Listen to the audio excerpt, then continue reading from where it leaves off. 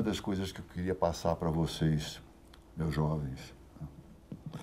Olha, eu não conheço o mundo inteiro, enfim, com profundidade, mas conheço bastante.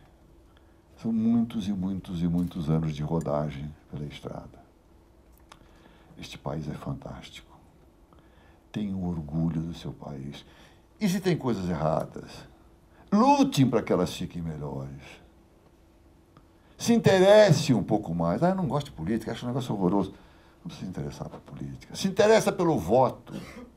Em quem vocês vão votar? Procurem conhecer um pouco mais as pessoas.